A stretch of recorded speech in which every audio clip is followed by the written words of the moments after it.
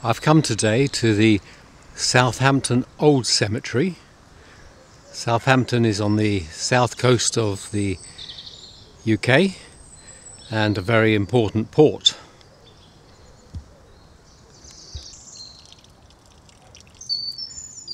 As we come through the main gate, on the right hand side is an absolute forest of crosses. Certainly when this part of the cemetery was used, crosses were the order of the day.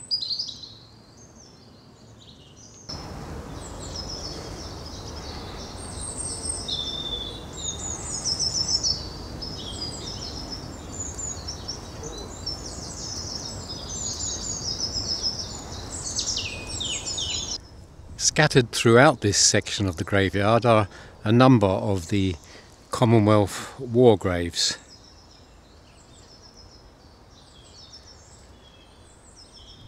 This is Corporal H. Walker, South Lancashire Regiment, 1914, aged 36. A short distance behind him is Private R. Carden, Devonshire Regiment, 1917, no age listed. An ornate cross on this one, and at the bottom of the stone it says Robert Henry, brackets Harry, the beloved husband of Eliza Pierce.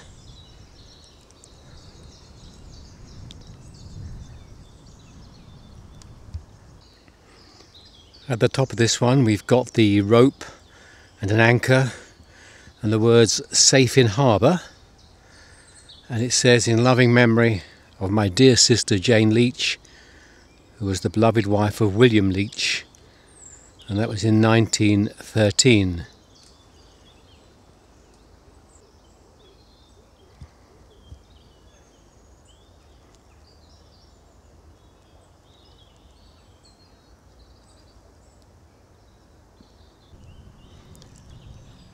Assistant Baker E.A. Glasspool HMHS Asturias.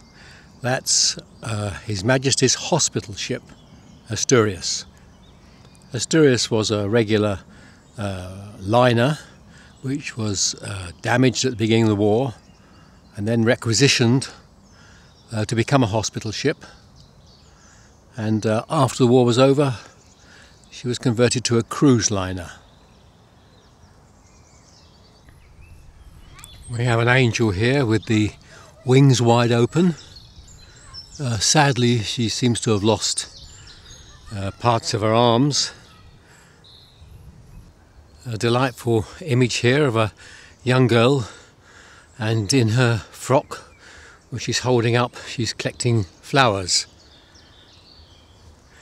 At the base of the monument, we read that this is Edith Emily, who died aged seven years. Uh, looks like 1918.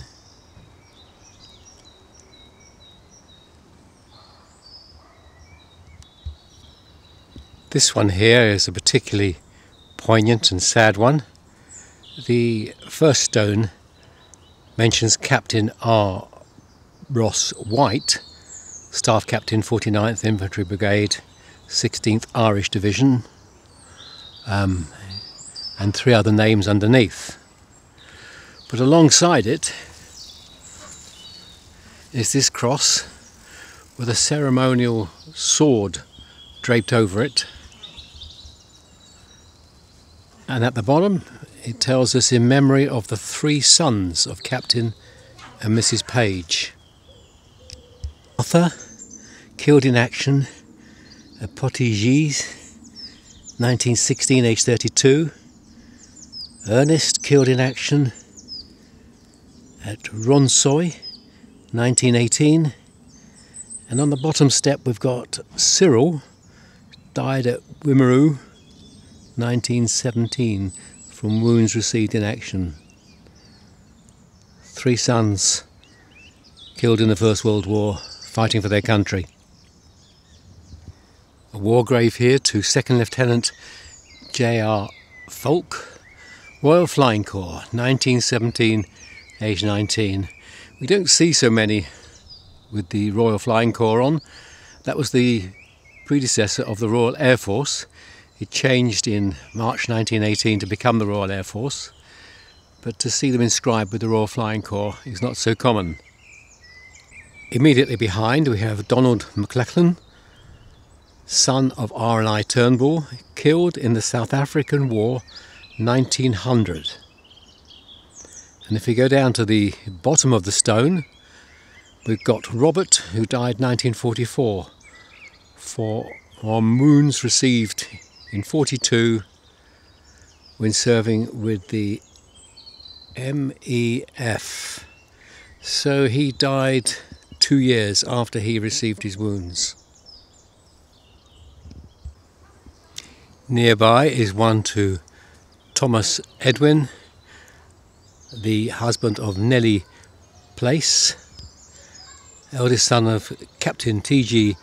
Place of Guernsey, who died at sea through enemy action, 1918 age 48. This is an unusual design. Uh, we have the cross at the top and a large solid block of stone at the bottom, and we have this sort of almost a crown effect uh, arching around the base. Quite unusual. A very solid tomb here. And on this side it says Maria Victoria Lemon, dying 1906. And on the other side, rather in the shade, we read Sir James Lemon, Mayor of Southampton, 1891-92. Close by the main entrance we have this new memorial dedicated to the many souls buried in this cemetery who sadly have no grave markers. And it is a fact of life that uh, in most cemeteries there are far more people buried without grave markers, often in common graves where multiple people were put, than there are that left stones memorials behind. I had to smile at this one this slab mounted on four balls. It looks for the life of me like a, a very large skateboard. Quite one of the largest tombs you'll see. Very elaborately carved. And the family name is Bull.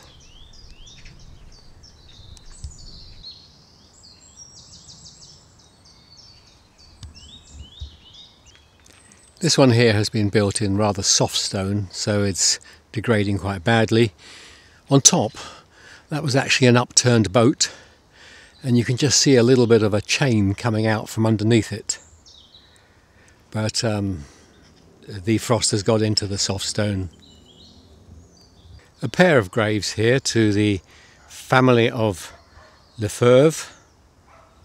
The second one is there and if we see down in front of it they've put a plaque which uh, says that this is the grave of John Emilius Lefebvre, Deputy Provincial Grand Master, uh, Masonic Province. Now you will probably hear the sound of machinery in the background. I've just been having a talk to the chap who's one of the friends of the cemetery and they try and keep pathways clear, but that, that does involve the use of strimming machines. So we can certainly excuse the noise. This one here is known as the Three Graces. Uh, there are three sides to it, and each side shows a separate, happy looking young lady. There's one. There's a second one on this side and this is on the third side. The modern plaque placed in front of the memorial tells us a grade 2 listed monument and it's to Richard Pearse, Hannah, his wife and some other names and that the sculptor was Richard Cockle Lucas.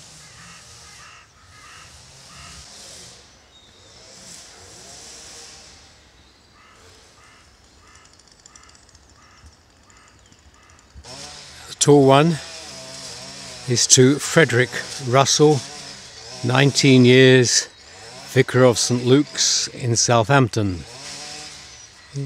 He died in 1872.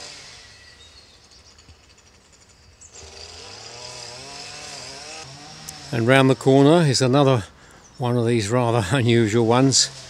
The slab mounted on four balls, uh, two smaller ones at the front edge, larger ones at the back to give it a slight slope.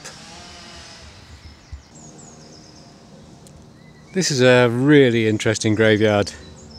I had read in reviews that it's uh, well worth a visit and I can certainly underline that. Southampton Old Cemetery.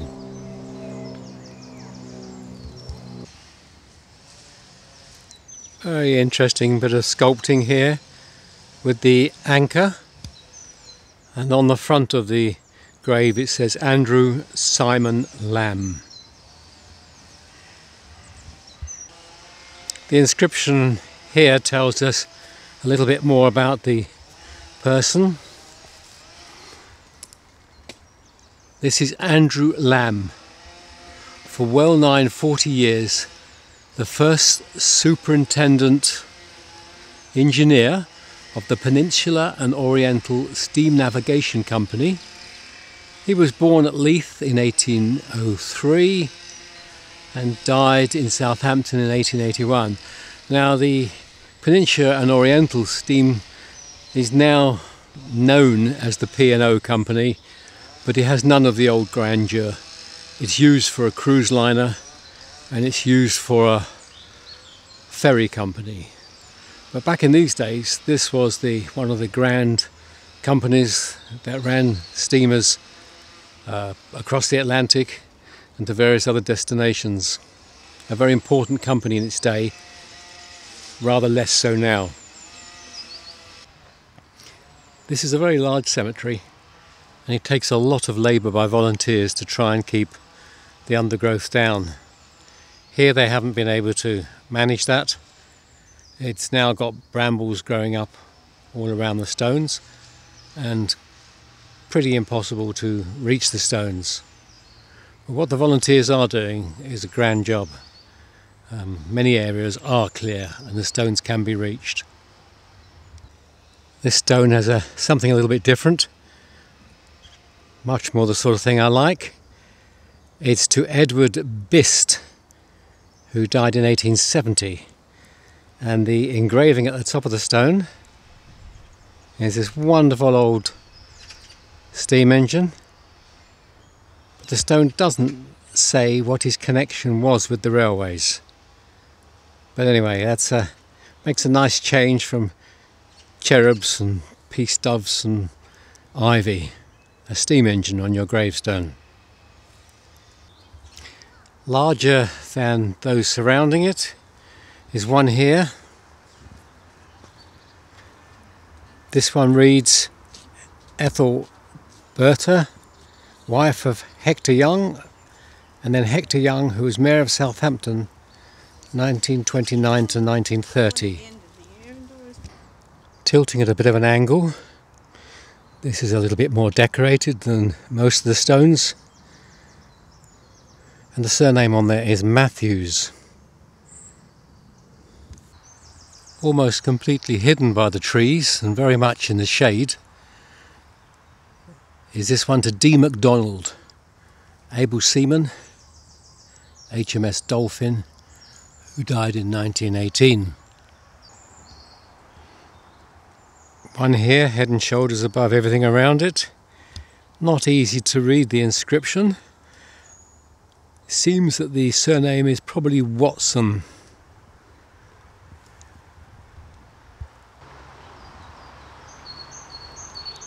Another one here, standing taller than the rest.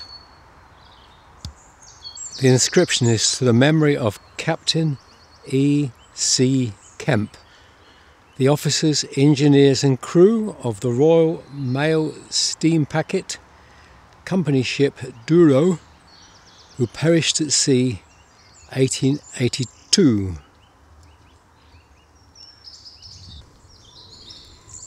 close by is this uh, glorious flowing figure of an angel with the wings spread.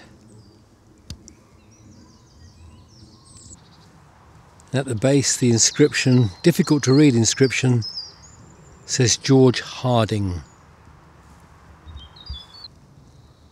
I'm filming this graveyard in April, just over the Easter weekend.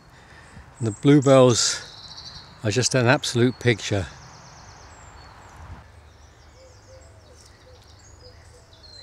It's difficult to find anything more peaceful and beautiful than this country spot with just a bird song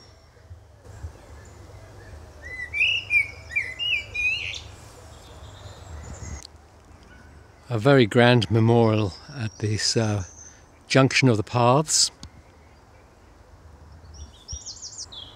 High up in the memorial we see the word Wye and an image of a steamship. Around the other side we have another steam yacht and the name Rhone. And on the front face it says in memory of the officers and crew of the Royal Mail steamships Rhone and Wye. There's a very small stone here with the initials HEH 1884 to 1940. The very simple stones like this are often from Society of Friends, the Quakers. They don't believe in having any excess information on the markers. And somebody has placed this against that stone in memory of all the super mariners whose sacrifices in the air raids of the 24th and 26th of September 1940 contributed to the peaceful lives we have enjoyed to date. This one's completely in metal.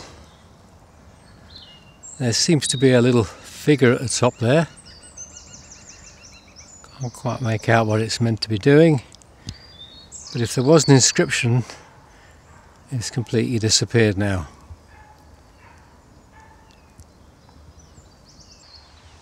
Uh, there is so much of interest here and uh, I would heartily recommend a visit. It's a wonderful graveyard to walk around and you could spend a very long time here. I'm going to call it a day at this point, but do come Till the next time.